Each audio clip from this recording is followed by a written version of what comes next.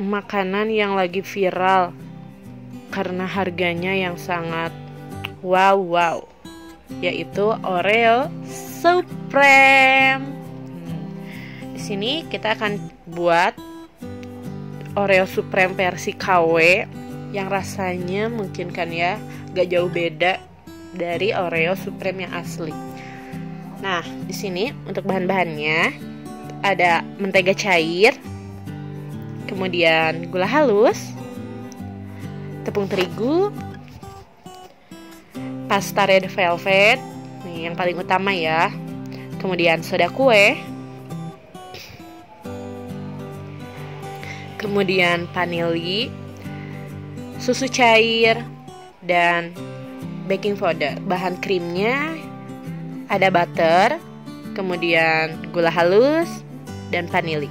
Langsung aja kita buat adonan yang pertama. Yang pertama kita masukkan mentega cair, kemudian masukkan gula halus. Setelah itu masukkan vanili. Kemudian kocok. Nah, untuk mengocoknya ini kita bisa gunakan kocokan yang biasa, mau pakai garpu boleh, mau pakai mixer juga boleh. Setelah itu masukkan pasta red velvet. Untuk takarannya ini bisa sesuai dengan selera ya. Bisa disesuaikan aja. Kita butuh warnanya yang agak kemerah-merahan.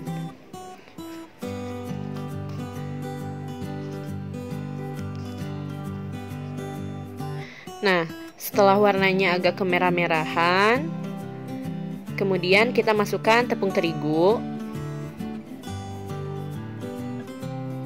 kemudian baking powder, vanili, dan sedikit baking soda. Oke, kita bisa ratakan sampai membentuk adonan.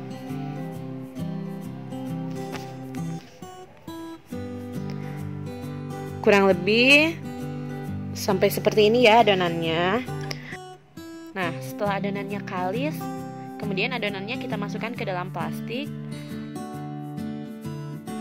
Kemudian bisa kita ratakan menggunakan botol atau apa pun yang ada di rumah.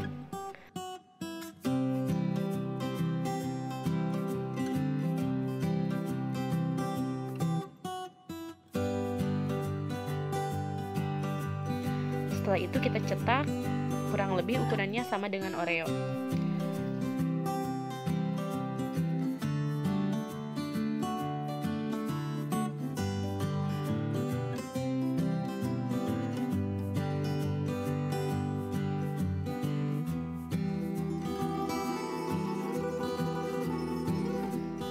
setelah ukuran bulat seperti Oreo ya, kurang lebih seperti ini. Kemudian kita cetak di atasnya menggunakan Oreo agar berbentuk tulisan Oreo.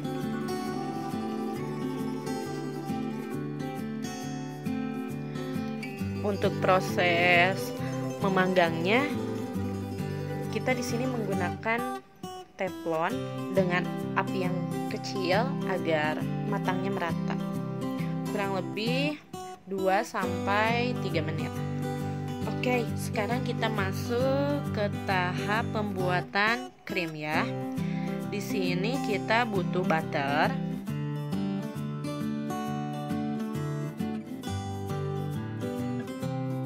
Kemudian gula halus.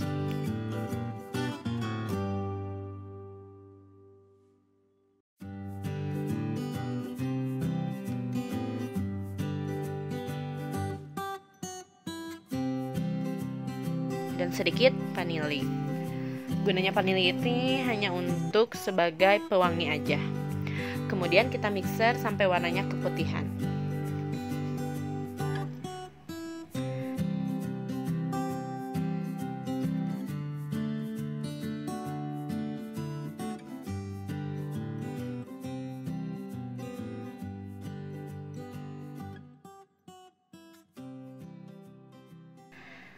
Oke, sekarang Oreo yang sudah kita panggang tadi matang.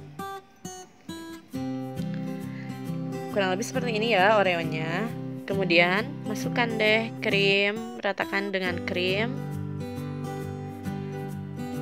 dan tutup dengan oreo yang satunya lagi oke jadi deh hmm, buat sahabat jadi ya semua yang masih bingung nih mau bikin menu mau bikin makanan kue lebaran apa gitu kan?